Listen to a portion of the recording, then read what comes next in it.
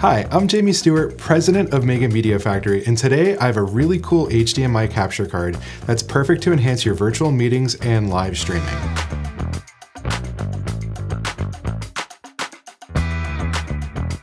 Here I have the Joyusing dual HDMI video capture card. It's a cool little device that allows you to connect up to two HDMI inputs to a single USB port on your computer that can be used with any virtual meeting or live streaming software offering the ability to switch between both HDMI inputs easily with a single button press. This allows you to jazz up your virtual events without any techno fright. Let's see how easy it is to set up and use. First, connect the device's UVC out to your computer with the supplied USB cable. This will also provide power to the unit.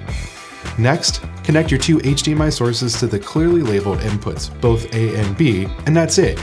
You're now able to open up your preferred virtual meeting software, here I'm using Zoom, and select the USB video as your camera source. To switch between inputs, just push either the A or B button. You can also do picture-in-picture -picture and move the image around the screen with a long press. You can also select which source is the main. Split screen can also switch between narrow and full.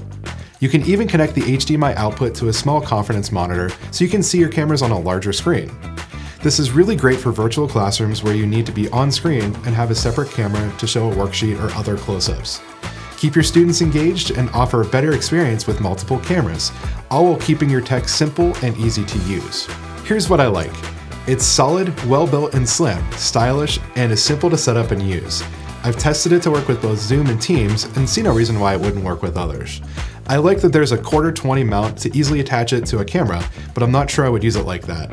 When I press a button, it could slightly jostle the camera. Also, the buttons seem solid with a satisfying click, but I'd love to see that click be slightly quieter.